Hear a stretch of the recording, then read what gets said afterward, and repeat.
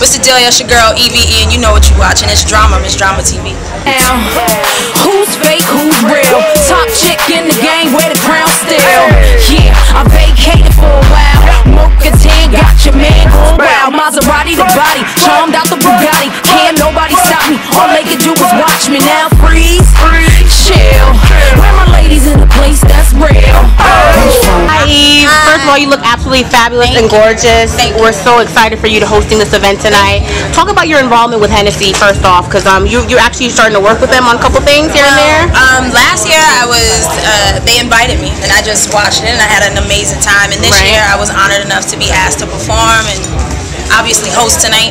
Um, so yeah, I'm performing tonight, and and also I performed with them in Miami, and it was a dope event. So I'm Yeah. happy to be here in NYC, and I know. Oh yeah, oh yeah, Re- repping Um, that. But tonight I'm like getting on the mic and kind of telling people, you know, what what Hennessy is about and the blending of, you know, art, culture, drinks, Yeah. Hennessy artistry, obviously. So Yes, it's I gonna mean a you're definitely part of that artistry. Can you just kind of give us an idea what you have coming up so we can be checking out for you? Because I know people are very excited. We know you always rep very hard, and Well, um, I've been saying the album was coming and it was, but I left Interscope and now I'm on EMI, so the album is definitely coming. Okay. At the top of the year, it's called Lip Lock. It'll be out at the top of the year in March.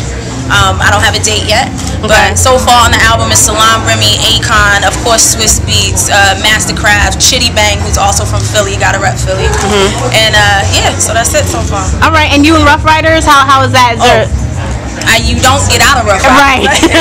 Um, yeah, nah. I mean, obviously that's my fam, and um, Okay. I haven't wrapped up the album yet, so I'm sure you, you'll hear some stuff. From right. So compilation with them, or Not, maybe not the whole fam, but Okay. like you know, definitely somebody we haven't decided yet. Hey, let them go, dogs, get the fighting.